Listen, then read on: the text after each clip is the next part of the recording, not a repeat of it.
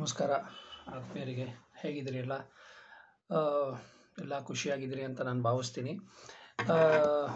ಇವತ್ತಿನ ಈ ವಿಡಿಯೋದಲ್ಲಿ ನಿಮಗೆ ಮನೆಯಲ್ಲಿ ನಾವು ಫೋಟೋಗಳನ್ನು ಹಾಕ್ತೀವಿ. ಆ ಫೋಟೋಗಳನ್ನು ಯಾವ ದಿಕ್ಕಿನಲ್ಲಿ ಹಾಕಿದ್ರೆ ಬಹಳ ಸೂಕ್ತ ಅನ್ನೋದನ್ನು ನಾನು ನಿಮಗೆ ತಿಳಿಸ್ಕೊಡ್ತೀನಿ. ಏನಾಗುತ್ತೆ, ಈ ಫಂಕ್ಷನ್ಗಳು ಅಥವಾ ಯಾವುದೊಂದು ಮ್ಯಾರೇಜ್ ಆಗಿರ್ಬೋದು ಅಥವಾ ಮನೆ ಗೃಹ ಪ್ರವೇಶ, ಯಾವುದೇ ಥರ ಫಂಕ್ಷನ್ಗಳಾದರೆ ನಮಗೆ ಈ ಮನೆಗಳಿಗೆ ತುಂಬ ಫೋಟೋಸ್ಗಳು ಗಿಫ್ಟ್ಗಳು ಬರ್ತವೆ. ಫಾರ್ ಎಕ್ಸಾಂಪಲ್ ಯಾವುದೋ ಕೃಷ್ಣ, ರಾಧಾ, ಗಣಪತಿ ಈ ಥರ ಫೋಟೋಗಳೆಲ್ಲ ಬರ್ತವೆ.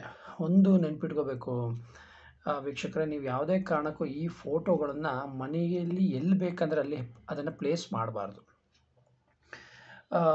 ಎಲ್ಲದರಲ್ಲಿ ಪ್ಲೇಸ್ ಮಾಡೋದು ಯಾಕಂದರೆ ದೇವರ ಮನೆ ಅನ್ನುವಂಥದ್ದು ಇರೋದೇ ಈ ಥರ ಫೋಟೋಗಳನ್ನು ಇಡೋಕ್ಕೆ ಹಾಗಾಗಿ ಜಾಸ್ತಿ ಫೋಟೋಗಳನ್ನು ಅಂದರೆ ಈ ಥರ ಗಿಫ್ಟ್ ಬರುವಂತಹ ಫೋಟೋಗಳನ್ನು ನೀವು ಮನೆಯ ಯಾವುದೇ ಮೂಲೆಗಳಲ್ಲಿ ಎಲ್ಲಿ ಬೇಕಂದ್ರಲ್ಲಿ ಹಾಕಬಾರ್ದು.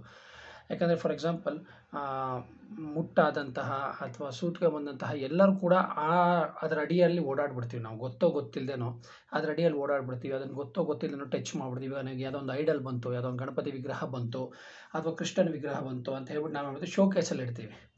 ಓಕೆನಾ? ಸೊ ಮೈಲ್ಗೆ ಆಗಿರೋರು ಅಥವಾ ರಜಾ ಆಗಿರೋರು ಯಾರೇ ಆಗಿರ್ಬೋದು, ಅವ್ರು ಬಂದು ಈಗ ಗೊತ್ತೋ ಗೊತ್ತಿಲ್ಲ ಅದನ್ನು ಮನೆ ಕ್ಲೀನ್ ಮಾಡ್ತೀವಿ ಅಂತೇಳಿ, ಹೇ, ನಾನೇನು ದೇವ್ರ ಮನೆಗೆ ಹೋಗಲ್ಲ, ನಾನು ಇದು ಮಾತ್ರ ಕ್ಲೀನ್ ಮಾಡ್ತೀನಿ ಅಂತ ಆ ಮೂರ್ತಿಯನ್ನು ಕೂಡ ಈ ಮುಟ್ಟಿ ನಾವು ಒರೆಸ್ಬಿಡ್ತೀವಿ. ಮತ್ತು ಇನ್ನೊಂದು ತಪ್ಪುಗಳನ್ನು ಮಾಡ್ತಾರೆ. ಈ ಮನೆಯ ಬಾಗಿಲುಗಳಿಗೆ ದೇವರ ಚಿತ್ರಗಳನ್ನು ಕೆತ್ತಿಸುವಂಥದ್ದು ಅಥವಾ ಮನೆಯ ಬಾಗಿಲಿಗೆ ಸ್ವಸ್ತಿಕ್ ಮಾರ್ಕನ್ನು ಹಾಕುವಂಥದ್ದು, ಅದನ್ನೆಲ್ಲ ಮಾಡ್ತಾರೆ. ದಯವಿಟ್ಟು ಒಂದು ವಿಷಯ ನೆನ್ಪಿಟ್ಕೊಳ್ಳಿ. ಮನೆ ಬಾಗಿಲುಗಳಿಗೆ ದೇವ, ದೇವ್ರ ಫೋಟೋಗಳನ್ನು ಅಥವಾ ದೇವ್ರ ಚಿತ್ರಗಳನ್ನು ಕೆತ್ತಿಸುವಾಗ ಒಂದು ತ, ತಿಳ್ಕೊಬೇಕು.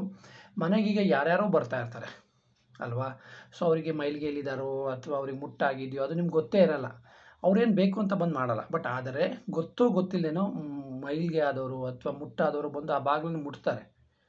ಕರೆಕ್ಟ್ ಅಲ್ವಾ? ಸೊ ಸ್ವಸ್ತಿಕ್ ಪ್ಲೇಸ್ಮೆಂಟ್ ಕೂಡ ಅಷ್ಟೇ. ನೀವು ಸ್ವಸ್ತಿಕ್ ಯಾಕೆ ನಾನು ಸ್ವಸ್ತಿಕ್ನೆಲ್ಲ ಮನೆ ಮನೆಗೆ ಹಾಕಬಾರ್ದು ಅಂತ ಯಾಕೆ ಹೇಳ್ತೀವಿ ಅಂತ ಹೇಳಿದ್ರೆ, ದಯಮಾಡಿ ನೀವು ಯೋಚನೆ ಮಾಡಿ ಸ್ವಸ್ತಿಕ್ ಒಂದು ಲೋಗೋ ಏನಿದೆ, ಈ ಲೋಗೋವನ್ನು ಯೂಸ್ ಮಾಡಿಕೊಂಡು ಹಿಟ್ಲರ್ ಪ್ರಪಂಚವನ್ನೇ ಹಾಳು ಮಾಡಿದೆ. ಆ ಸ್ವಸ್ತಿಕ್ ಲೋಗೋ ಕರೆಕ್ಟಾಗಿ ಪ್ಲೇಸ್ ಆಗಿದ್ದರೆ ಮಾತ್ರ ಅದು ನಿಮಗೆ ಪಾಸಿಟಿವ್ ಎನರ್ಜಿಯನ್ನು ಕೊಡುತ್ತೆ. ಅಕಸ್ಮಾತ್ ನೆಗೆಟಿವ್ ಆಯಿತು ಅಂತ ಅಂದ್ಕೊಳ್ಳಿ ಒಂದು ಚೂರದ ಪ್ಲೇಸ್ಮೆಂಟ್ಗಳು ಅದರ ಶೇಪ್ಗಳು ಓರೆ ಕೋರೆ ಆಯಿತು ಅಂತ ಅಂದ್ಕೊಳ್ಳಿ ಅದು ನಿಮ್ಮ ಮನೆಯ ನೆಮ್ಮದಿಯನ್ನೇ ಹಾಳು ಮಾಡುತ್ತೆ. ಸೊ ಹಾಗಾಗಿ ದಯವಿಟ್ಟು ಮನೆಗೆ ಸ್ವಸ್ತಿಕ್ ಮಾರ್ಕ್ಗಳನ್ನು ಓಂ ಚಿಹ್ನೆಯನ್ನು ಬಾಗಿಲಲ್ಲಿ ಹಾಕುವಂಥದ್ದು, ಅಥವಾ ಈ ಏನು ದೇವ್ರ ಚಿತ್ರಗಳನ್ನು ಬಾಗಿಲಿಗೆ ಕೆತ್ತಿಸಿ ಹಾಕುವಂಥದ್ದು ಅದನ್ನೆಲ್ಲ ಮಾಡಬೇಡಿ. ಸೊ ನಿಮಗೆ ದೇವ್ರ ಬಗ್ಗೆ ಅಷ್ಟು ನಂಬಿಕೆ ಇತ್ತು, ಅಥವಾ ನಿಮ್ಗೆ ಅದು ಬೇಕೇ ಬೇಕು ಅಂತಂದರೆ ಏನು ಮಾಡ್ಬೇಕಂತ ಹೇಳಿದ್ರೆ, ಮನೆಯ ದ್ವಾರ ಬಾಗಿಲಿರುತ್ತಲ್ಲ ಮೇಲ್ಗಡೆ, ಪಟ್ಟಿ, ಆ ಪಟ್ಟಿಗೆ ಶಿವನ ತ್ರಿಶೂಲ ವಿತ್ ಡಮರುಗ. ಶಿವನ ತ್ರಿಶೂಲ ಇರುತ್ತಲ್ಲ, ಡಮರುಗದ ಜೊತೆ ಶಿವನ ತ್ರಿಶೂಲ. ಆ ತ್ರಿಶೂಲದ ಚಿತ್ರವನ್ನು ಬೇಕಾದ್ರೆ ತಂದು ಮೇಲ್ಗಡೆ ಅಂಟಿಸಿ, ಅಥವಾ ಕೆತ್ತಿಸ್ಬೇಕಾದ್ರೆ ಅದು ಸಮೇತ ಸೇರಿಸಿ ಕೆತ್ತಿಸಿ ಅದು ತುಂಬ ಒಳ್ಳೆಯದು ಮನೆಯೊಳಗೆ ಯಾವುದೇ ನೆಗೆಟಿವ್ ಎನರ್ಜಿಯನ್ನು ಬರೋಕ್ಕೆ ಬಿಡಲ್ಲ. ಹಾಗೆ ಮನೆಯ ಪೂರ್ವ ಮತ್ತು ಪಶ್ಚಿಮ ದಿಕ್ಕಿಗೆ, ಪೂರ್ವ ಮತ್ತು ಪಶ್ಚಿಮ ದಿಕ್ಕಿನ ಗೋಡೆಗಳಿಗೆ ನೀವು ಮನೆಯಲ್ಲಿರುವಂತಹ, ಬದುಕಿರುವಂತಹ ಅವರ ಫೋಟೋವನ್ನು ಹಾಕ್ಬೋದು. ಫಾರ್ ಎಕ್ಸಾಂಪಲ್ ಫ್ಯಾಮಿಲಿ ಫೋಟೋ ಆಗಿರ್ಬೋದು ಅಥವಾ ನಿಮ್ಮ ಇಂಡಿವಿಜುವಲ್ ಫೋಟೋಗಳಾಗಿರ್ಬೋದು ಅದನ್ನು ಪೂರ್ವ ಮತ್ತು ಪಶ್ಚಿಮ ದಿಕ್ಕಿಗೆ ಹಾಕ್ಬೋದು. ಉತ್ತರ ಮತ್ತು ದಕ್ಷಿಣ ದಿಕ್ಕಿಗೆ ತೀರ್ ಹೋದವರಂಥ ಫೋ, ತೀರ್ ಹೋದವರ ಫೋಟೋಗಳನ್ನು ಹಾಕ್ಬೋದು. ಉತ್ತರ ಮತ್ತು ದಕ್ಷಿಣ ದಿಕ್ಕಿಗೆ ತೀರ್ ಹೋಗಿರ್ತಾರಲ್ಲ, ಅವ್ರ ಫೋಟೋಗಳನ್ನು ಹಾಕ್ಬೋದು. ಹಾಗೆ ಮತ್ತೊಂದು ವಿಷಯನ ನಿಮ್ಗೆ ಹೇಳಲೇಬೇಕು. ದಯಮಾಡಿ ಮನೆಯಲ್ಲಿ ನೀವು ಎಲ್ಲಿ ಓಡಾಡ್ತೀರಾ, ಆ ಜಾಗದಲ್ಲಿ ಅಥವಾ ಬಾಗಿಲ ಕೆಳಗೆ ಅಥವಾ ಬಾಗಿಲ ಮೇಲೆ ನೀವು ಗಡಿಯಾರಗಳನ್ನು ಹಾಕಬೇಡಿ. ಮತ್ತು ಬದುಕಿದ್ದವರ ಫೋಟೋದ ಕೆಳಗೆ ಅಥವಾ ಮೇಲೆ ಅಥವಾ ಅಕ್ಕಪಕ್ಕದಲ್ಲಿ ಗಡಿಯಾರಗಳನ್ನು ಪ್ಲೇ, ಪ್ಲೇಸ್ ಮಾಡಬೇಡಿ. ಹೀಗೆ ಪ್ಲೇಸ್ ಮಾಡೋದ್ರಿಂದ ಆಯಸ್ಸು ಕ್ಷೀಣಿಸ್ತಾ ಹೋಗುತ್ತೆ. ಈಗ ಯಾರೋ ಒಂದು ಬದುಕಿರೋ ತುಂಬು ಫ್ಯಾಮಿಲಿ ಇದೆ ಅಂತ ಅಂದ್ಕೊಳ್ಳಿ ಈ ತುಂಬು ಫ್ಯಾಮಿಲಿ ಫೋಟೋದ ಕೆಳಗಡೆ ಅಥವಾ ಮೇಲ್ಗಡೆ ನೀವು ಗಡಿಯಾರ ಪ್ಲೇ, ಹಾ, ನೇತು ಹಾಕಿದ್ದೀರ ಅಂತ ಅಂದ್ಕೊಳ್ಳಿ ಅವರ ಆಯಸ್ಸು ಕ್ಷೀಣಿಸ್ತಾ ಹೋಗುತ್ತೆ. ಆ ಮನೆ ಒಡೆದು ಹೋಗುತ್ತೆ, ಡಿವೈಡ್ ಆಗುತ್ತೆ. ಈ ಥರ ಆಗ್ತವೆ. ಹಾಗೆ ನೀವೆಲ್ಲ ಓಡಾಡ್ಬೇಕಾದ್ರೆ ಬಾಗಿಲು ಮೇಲ್ಗಡೆ ನೀವು ಬಾಗಿಲಿದೆ, ಮನೆಯಿಂದ ಇನ್ನೊಂದು ರೂಮಿಂದ ಇನ್ನೊಂದು ರೂಮಿಗೆ ಹೋಗುತ್ತೆ. ಆ ಬಾಗಿಲು ಮೇಲ್ಗಡೆ ಗಡಿಯಾರ ಫೋಟೋ ಒಂದು ಹಾಕುವಂಥ ಗಡಿಯಾರನ ಹಾಕುವಂಥದ್ದು ಅದನ್ನೆಲ್ಲ ಖಂಡಿತವಾಗ್ಲೂ ಯಾವುದೇ ಕಾರಣಕ್ಕೂ ಮಾಡಬೇಡಿ. ಒಂದು ಬಾಗಿಲಲ್ಲಿ ದೇವರ ಚಿತ್ರಗಳನ್ನು ಕೆತ್ತಿಸುವಂಥದ್ದು ಬಾಗಿಲಿಗೆ ಸ್ವಸ್ತಿಕ್ ಚಿತ್ರಗಳನ್ನು ಕೆತ್ತಿಸುವಂಥದ್ದು ಮತ್ತೊಂದು ಪೂರ್ವ ಮತ್ತು ಪಶ್ಚಿಮ ದಿಕ್ಕಿಗೆ ಬದುಕಿರುವಂಥ ಫೋಟೋವನ್ನು ಹಾಕ್ಬೋದು.